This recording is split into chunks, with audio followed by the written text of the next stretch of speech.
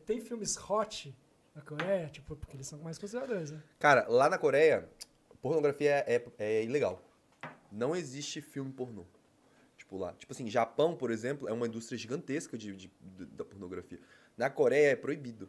Você, você não tem site pornô coreano. Tipo, é óbvio que nego faz, tipo, na. na clandestinagem e tal. E isso aí eu descobri porque quando eu tava crescendo, quando eu tava na adolescência, né? Sério. Um dia bateu na cabeça assim do Gabriel esse pequenininho assim, né? Crescendo. Caralho, mas como é que é porno coreano? Eu não achava. Digitava de tudo que é jeito no Google. Porno coreano, coreano, gostosa, porno coreano, não sei. Não achava. Deep E Web. aí eu fui pesquisar por quê. Aí eu descobri que era proibido na Coreia. Por causa disso. E lá, tipo, tem uns rolês assim, tipo assim, câmera. Aqui no Brasil você consegue tirar foto, foto no, no mudo, né? Silencioso. Lá não, não tem essa opção. Toda vez que tira uma foto, mesmo selfie, faz, faz barulho.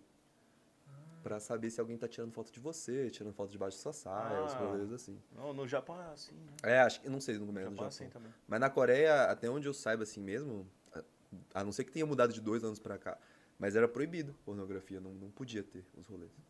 E no Japão, por exemplo, tem uns negócios que eles. Já, você já, vi, já viu, né? É, pelo amor de Deus. Eles Fica deixam- uns mosaicos, assim, uns negócios censurados, assim. A cara da mulher tá lá, baqueada, assim, um negócio.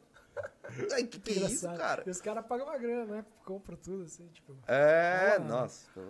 É diferente, né? A cultura é com-